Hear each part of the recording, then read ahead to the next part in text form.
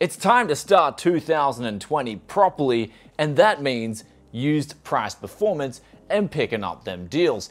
Though coming into the new decade, there were some trends that were a little bit worrisome. One of those being graphics cards. They were simply overpriced. At least last month when I went to check out GTX 1060s, 1050s, 1070s even, everyone wanted way too much, at least compared to the new graphics cards. But that's not a problem because this month I've already circumvented that problem because generally trends don't change very quickly. And so what I've done is I went on eBay and I said this in a few videos during this month and I went and got some 1660 Supers and also some RTX 2060s. So we've already done a preemptive strike on the used price performance scene this month. I don't know if you guys remember Final Fantasy VII and you came into a battle and you had that preemptive strike and you're like, yeah, that's right, I'm a boss. Anyway, with that aside, I am very hungry for some motherboards, i7s, things like that. The core bare bones components, as I've got some cases, I've got GPUs, and power supplies are generally not a problem because places like Umart and MSY stock them for pretty decent prices. So let's get on good old Gumtree and Facebook Marketplace and see what we can find and we'll also call Les as well as a newcomer into the game. They called me, they've wanted to uh, see what deals they can offload to me, so this will be a very interesting month.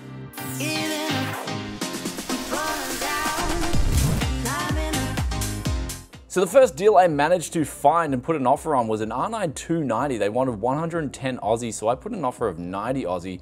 They uh, said one of the display ports at the back doesn't work, but that's not a problem if you've got all the other displays working and as long as it works fine. So that would be a pretty good deal at that price. The next uh, deal that we found was uh, 16 gigabytes of DDR4 memory. They wanted 80 Aussie dollars. I put down an offer of 60 Aussie dollars, waiting for them to get back to me. Great for like a budget build, uh, especially coming into something like an i5 6600 or something like that, and you want to offer 16 gigabytes of RAM. That definitely constitutes good value too. The next one up here is looking like it's a really dirty PC. Of course, this is my specialty. I can apply some tech, yes, loving. And it's got a nice H55 Asus motherboard in it and what looks like a pretty solid power supply and a one terabyte hard drive. The RAM and CPU are of low value, but hopefully they take my offer and we can make something out of this build. And then next up, we've got uh, a 1050 Ti. They want 150. I'm putting in an offer of 110 Aussie and then another 1050 Ti as well. Same uh, price point, 150. We put in another offer of 110 for that.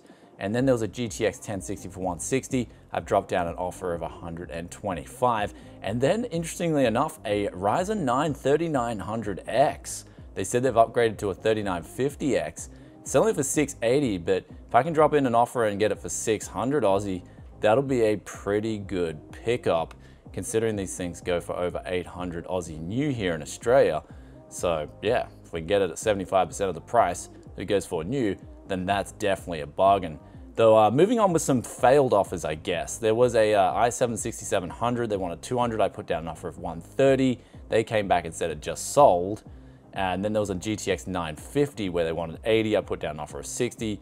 They said someone offers them 70, I'm not gonna bother with it. And then there's a GTX 750, which I put down an offer of 40 Aussie dollars. And they're like, can you come pick it up tonight? So it looks like we've got one definite deal here and some potentials out in the air. So we'll have to wait and see if those people come back to us on all the other potentials. But it looks like we've got a GTX 750 so far. They're going through Facebook Marketplace. I found a lot of double listings that were on Gumtree and I've already put offers on them and you don't usually double offer as it does give off a sense of desperation. Uh, so what we found here was a Z97 motherboard as well as an i7 790S.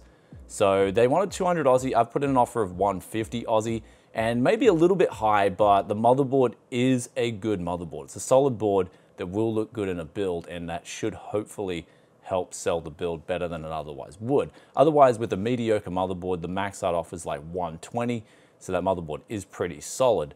Though moving on to the next uh, potential deal is a 4930K. They want 80 Aussie dollars. I put an offer of 60 Aussie. If we can pick this up, that'll actually be a really nice CPU for the money. Though with those offers out of the way, the market is definitely still a vulture pit. I can tell by what's up for sale, where I've got to go high and low to try and find some unique deals. Anyway, it's time to call Les and see what he's got. Hey, Bronny, how you doing? Yeah, good mate. How's things? Not too bad. Yeah, it's been a uh, it's been a while, eh? I've been a while. I thought you'd done me. Nah, nah, mate. Just been. I came into New Year's. Came into New Year's just with the cloud in my head, eh? And then uh, oh, well. now things are ramping up again. So Oh, good, yeah, good. And uh, so is the used parts, mate. So uh, what have you potentially got for us? Cool. what have I got? Mm, I don't know whether. Um, you, do you use any second gen Lenovo's? Yeah, I can use a few. Yeah, so I've only got a couple, but Oh, that's I'll- about all I've alright. got, mate. I'll come through. I've got a, uh, I've got a couple of little Lenovo's, but they're a little later. They're i5s, but they're sort of later model. I don't know with with regards to the the power setup. Whether they're called S500, Lenovo S500, What gen are they? fourth gen. Okay, and They're uh, called- I'll take a look at them. yeah, okay. Yeah, right, yeah. Um, I've got some got some monitors. Depends what you're after. Okay, I'll come and I'll just come and check it out, mate. Um, Yeah, okay. Yeah, don't keep me too much after one because Yeah. otherwise she's going to jump up and down. Okay, cool, mate. All right, I'll see you then. All right, okay, all good, mate. All right, mate. Catch ya. Okay, bye. All right, see you. Bye.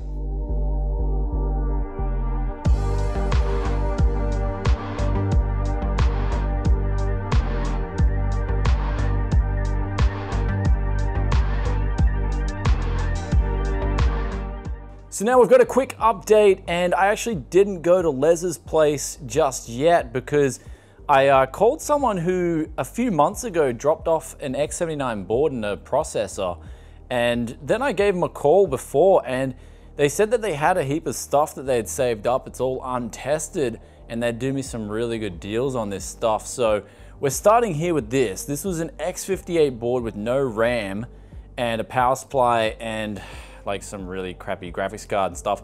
They did this for 50 Aussie dollars. And I said, sure, I'll take the gamble on that. Then we're moving over here to a 1650, I believe, Xeon system. And everything here, I got this for 100 Aussie dollars. And I said, yeah, I'll definitely take that. And then below that was a laptop with an i7 uh, 4600U or something like that. They said it works. Um, they've tested it, but it has no charger or battery. So they did that for 70 Aussie dollars. I was like, yeah, I'll take that too. And then over here is a PC that's definitely seen better days.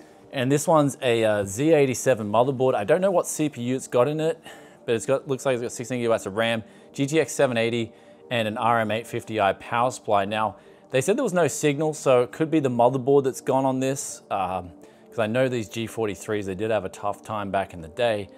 And so I was guessing that was the problem. And so they did this for a hundred Aussie dollars.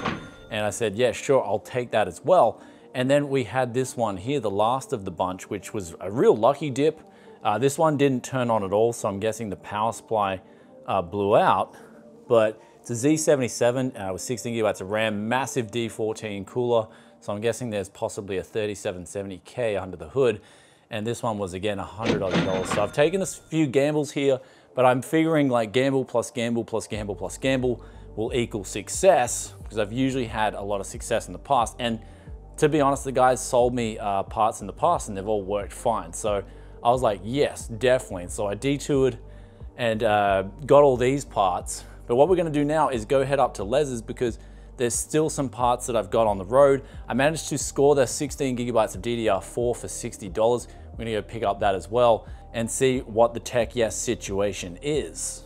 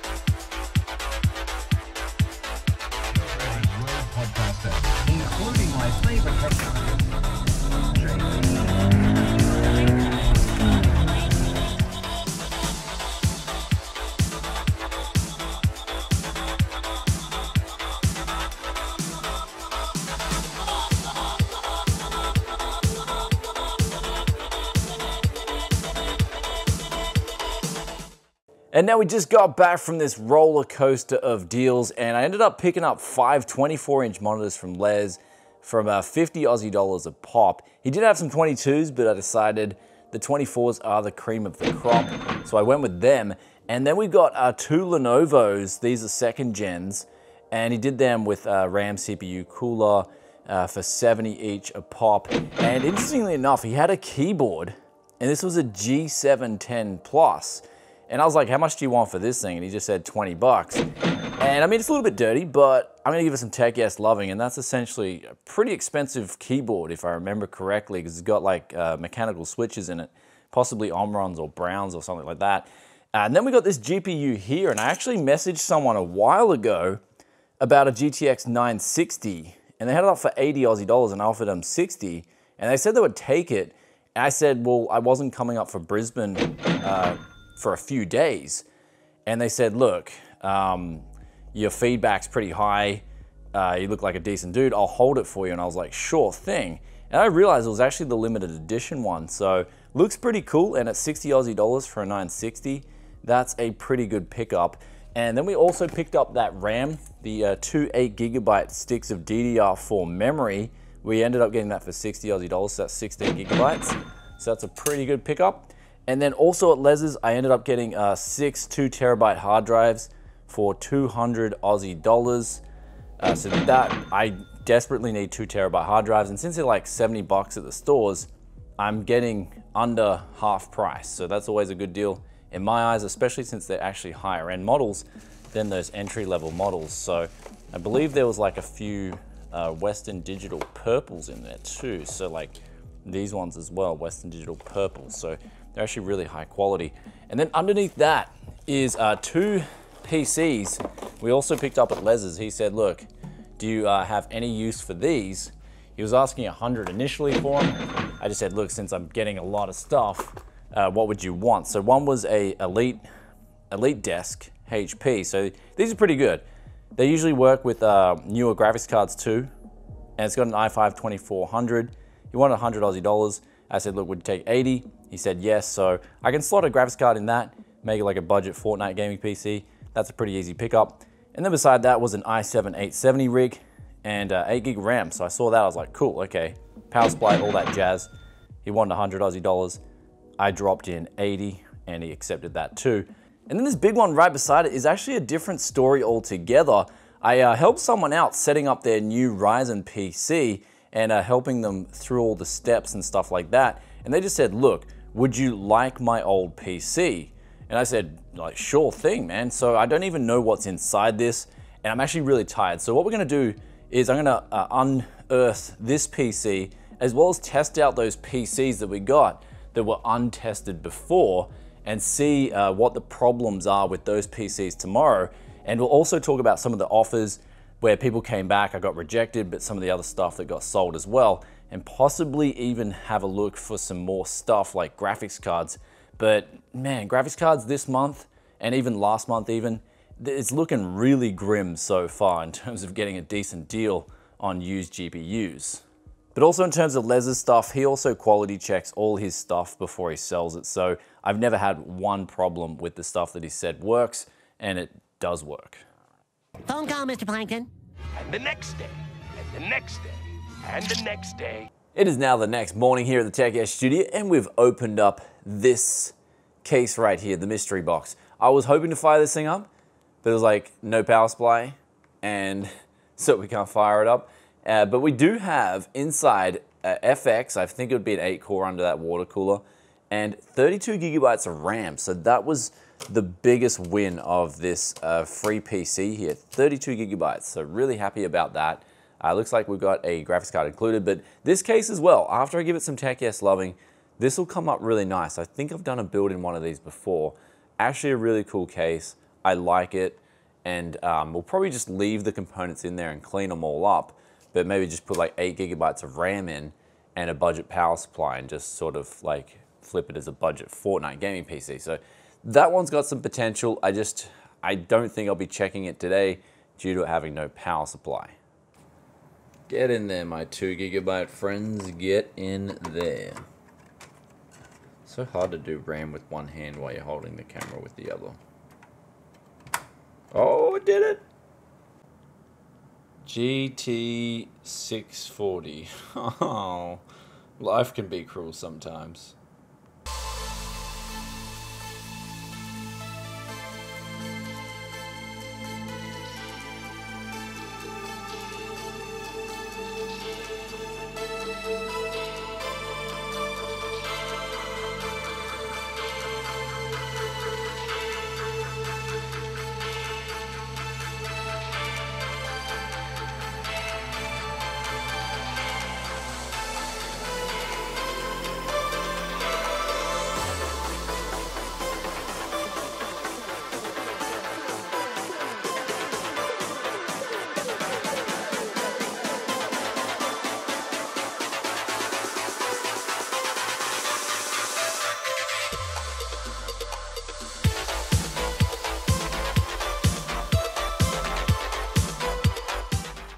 And here's our Logitech G710, and after five minutes of some tech, yes, loving, it's now feeling like a brand new keyboard. So now going through the list of offers I put in yesterday and what happened with that. The uh, 3900X guy just never got back to me. Same with the R9 290. Uh, so they mustn't check Gumtree a whole lot. Uh, the GTX 1060 person did get back to me, but they wanted to actually upgrade their GPU and they were like, look, I'll be on the Gold Coast on the 4th of February or something. So that one's a little bit like, I don't know what's going on with that one. Uh, the 6700 guy sold his 6700 for 150 Aussie. So that was like fair value. Um, 1050 Ti's, there was two of them, and they both sold them for 130 each. So that must have been someone looking for GPUs in mass and then just uh, going offering the same money on all these GPUs, then going picking them all up at the same time. So uh, we missed out on those. And then the uh, $150 PC that was just like ready for the tip. Um, I offered 50 bucks on it. I usually never do that, but like honestly, this thing is, from what I see, is probably worth about $50 max. And so they came back at 100 and I just said like, look, I'm taking a gamble at $50 as well because I don't know if it works. And if the motherboard or the power supply works, then I'll be breaking even. So there was that, and I'm waiting for them to get back to me. But I mean, I'm guessing someone will come in now and offer 60. But hey, that's all good. Go get it. Um, and then there's the uh, GTX 950. We offered 60, but they came back and said they got another offer of 70. And I said, just go with that. Now they've come back to me today and said, oh no, I'm happy to go with 60. And it's like, well, for me, it's like I was already up in Brisbane yesterday, so that ship sailed. Like i have already been up in Brisbane, done the parts hunt with all the tour, and gone through and saw Les. So we missed out on that one. Like, well, we're going to miss out on it because I'm not driving to Brisbane. That's like an hour away just for a GTX 950. And what's next is a 750. So um, the 750 guy, he said he'd take the offer, but for $40 for the 750. But then he, uh, I messaged him yesterday on the way. I was like, yo, uh, address and time, and they just never got back to us. So that was unfortunate too. So we ended up picking up that 960 fortunately, but looks like with GPUs this month, as I came into this parts hunt, I thought it would be like last month where it's looking really grim, especially to get a good deal on a used GPU. And that's exactly the case. And I've actually looked this morning on Facebook Marketplace again, woke up, double checked Gumtree as well, and there's just no deals. Like there's people asking over $200 for a 970. And I mean, even 1066 gigabytes, 225 or something like that. I mean, these cards, like, just way overpriced, especially when you can get new 1660 Supers and 1650 Supers and stuff like that on eBay sales with brand new for around similar value. Like, anyway, I don't understand the used GPU market right now, so that's why we're kind of like circumventing it on our tour for flipping. But with that flipping aside, let's get back to these used rigs on the desk, the first ones that we got that were untested, and start testing them and see what comes out of that. And uh, here's the first PC here that we're testing through this bunch that we got unconfirmed. And as soon as we hit the power supply on, I want you guys to listen to this.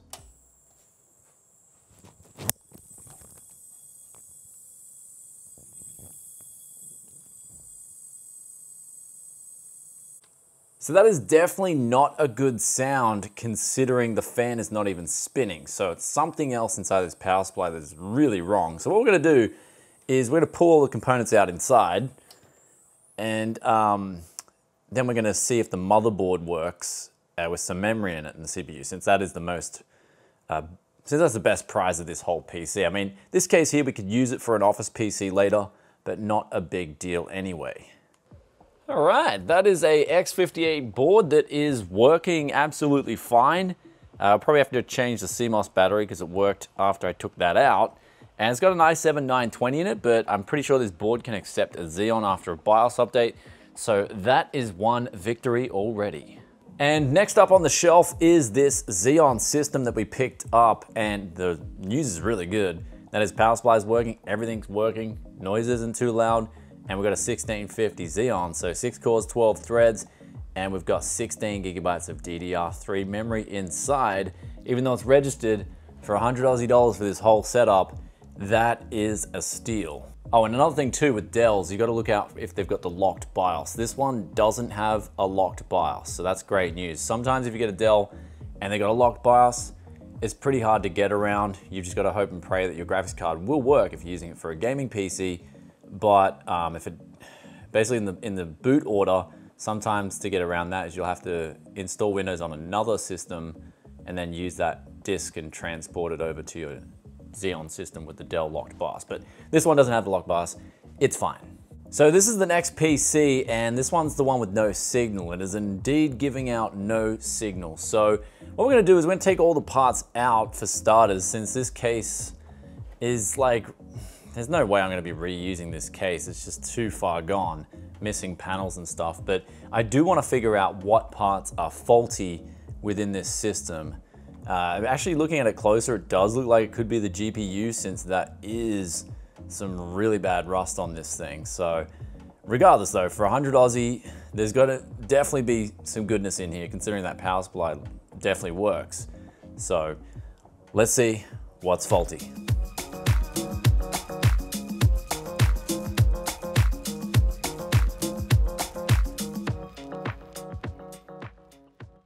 So we're now onto the motherboard and there's some good news and that is the motherboard and the CPU both work fine.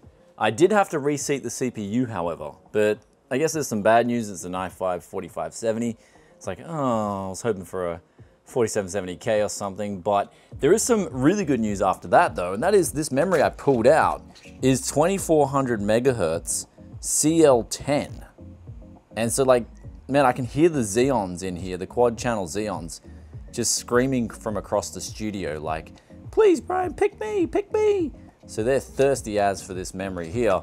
So that's really good. I could probably use that in an upcoming comparison because that's some of the fastest DDR3 memory I've had come through here with those XMPs. Though, it's finally time now to test that GTX 780 over there and uh, see if that works as well. So this GTX 780 looks like it is not working. It's giving out no signal. We've tried the display port as well, and we've given it a little bit of tech yes loving, just a phase one, but that means that maybe this graphics card will be making surprise appearances in a Can Yes Fix It episode in the future. So it's not done just quite yet. So here's the finale right here, and uh, this one indeed does have a busted down power supply. We can kind of see with that light on the motherboard. It's not even lighting up. Usually that'll light up as soon as you turn the power on. So we have to pull this whole thing apart and then see what we can salvage. So perhaps the uh, power supply isn't gone after all because we put the next power supply on and there's absolutely no light at all. So even like a board after this, even if you cleaned it down a lot, there's just no power to it at all, it means usually means something's just like absolutely gone because that light to come on is like in a low power state. So the fact that it's not coming on at all is pretty worrisome, but hopefully we can pull out some good stuff like that cooler. If I can clean all that up properly, that's a really good pickup. And then the RAM, it looks like we've got four four gigabyte sticks. So hopefully there's an i7 in there and we'll retest that power supply and see if that works. So I'll be damned, the uh, power supply still works. And we can see here it's reading out all the voltage lines absolutely fine. I've turned it on and off quite a few times. So the only real thing to do is put it to the test uh, in a in like a build or something like that and see if it passes. But of course, I'll be giving it some proper tech yes loving before that. I've already given it just a quick wipe down, and man, some of the dirt that came off this stuff is unbelievable. Maybe it wasn't water damage. Maybe it was like a real intense, like heavy smoker. That's like looking like it was the other scenario. So I've cleaned up these Noctua fans. They're okay, and we can see this is like the amount of dirt that came off all this stuff. It's really filthy. But this cooler right here is definitely going to need a bath. I've tried cleaning it down. It's just stuck on. So it's going to need a hot bath to loosen it all up. And can give it a proper clean after that. So that's like a hot bath pile. But the good news is, is I did pull out a 3770K and that's looking pretty fresh. So it doesn't look like it's damaged at all. And uh, we've also got the 16 gigabytes of RAM so this one, I'd say overall was a pretty good victory. And we are now at the finish line, completing this month's parts hunt. And I mean, this has just been a journey this month where we've picked up different PCs, different places, and honestly, pulling those last few PCs apart, I think overall I did win out in terms of value. Uh, it was a little bit disheartening. I wanted that Z77 motherboard to work in the end, and I would like to have had an i7 in that rig before it. But the uh, Xeon rig, that checked out perfectly. That was a gamble where everything worked, so that was really good. And we got some really good power supplies and other stuff out of those other rigs, especially some of that RAM. But besides that, we had that $50 system with the X58 in it, and the board ended up working. The 920, we can replace that with a really cheap Xeon. As you guys know with X58, the hardest thing is always getting the motherboards and they're usually expensive. So the fact that we got that for like little over 30 USD, that's a really good deal in itself. So going through the whole tally here, I'll put up a list on the screen for you guys where it tallied around about 1310 Aussie dollars, I believe. Uh, it's about 880 USD and we got like five 24 inch monitors, uh, even a laptop thrown in there, GTX 960, and I'm just blown away by how much stuff we got here this month. I've honestly got to start slowing down. I took a look here in the studio, I'm like, damn Brian, you got some sort of addiction that needs to be curbed. And uh, even just getting my hands dirty today with some of this stuff and cleaning it up, I, I am pretty excited to start seeing what we can make out of some of these rigs here. Uh, though it still leaves a little bit to be desired in terms of some of those deals on Gumtree and Facebook. The place is becoming worse and worse. Like the more I try and get deals on it, the more of a cesspool it's becoming with overpriced stuff, especially on the GPU side of things. Um, I did get a reply on the, I think it was the 4930K, where I put in a $60 Aussie offer, and they got back to me, but they said they're only available today. And so I went up to Brisbane yesterday, and they, since they're up in Brisbane like an hour away, again, kind of driving up there and wasting all that gas just for one particular part just really doesn't make it worth it, not just in time, but also money spent on gas. Um, and there is a RX 480, and I did find an RX 480 on uh, Gumtree, and I put in an offer, I think it was on Facebook Marketplace, sorry, and I put in an offer of $80, and they accepted that. So I'm gonna go pick that up tomorrow morning. Uh, we've worked out the whole deal. They're actually just down the road too, so it's really convenient for me.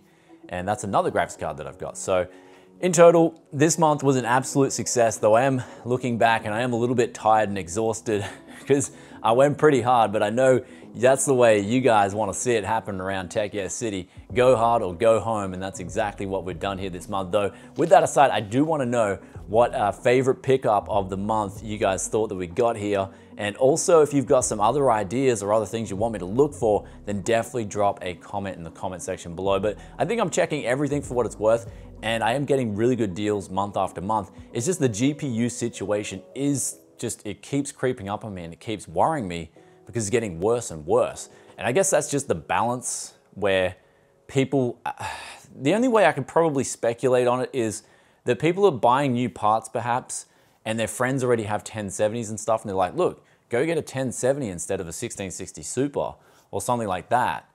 Uh, and you've got eight gigabytes of VRAM, and that's kind of like the only spec they're looking at on the graphics card. So they think they're actually getting a really good deal when we look at the performance and the efficiency and the new features on the Super.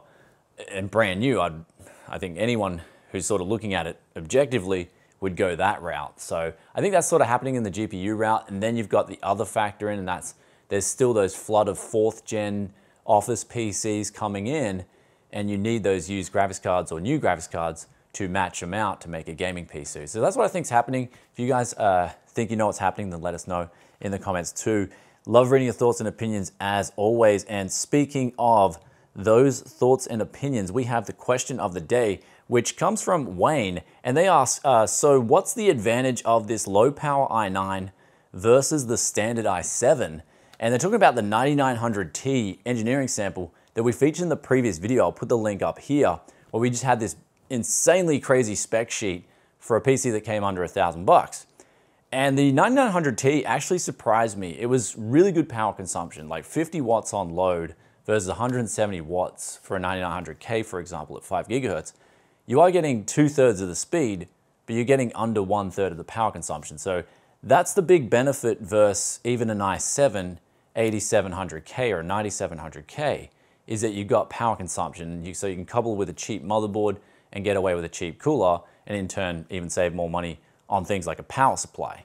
So that's the benefit that brings. Of course, the disadvantage is that um, it's lower clock speeds. So games that are really single threaded heavy, you could see a, a loss of up to like 33% in FPS if you are CPU bound and it's single thread heavy. Or even if it's multi-core heavy and you're juicing 8 core 16 threads. So games like that are really rare. Uh, I think Shadow of the Tomb Raider at 1080p, for example, may be a good example of that. But remains to be seen, we will be doing the comparison. I just need some time here to get up to speed with everything. And with that aside, I hope you guys enjoyed January, starting off the decade for 2020, this parts hunt. I guess that's the reason it probably went so hard, because it's the start of a new decade. And if you enjoyed this one, be sure to hit that like button and I'll catch you guys in another tech video very soon. And as always, if you're enjoying the content and you want to see it the moment it drops and you're not yet subbed, maybe you should consider subbing, ringing that bell, and you'll get the content the moment it drops. And I'll see you in the next one. Peace out for now. Bye.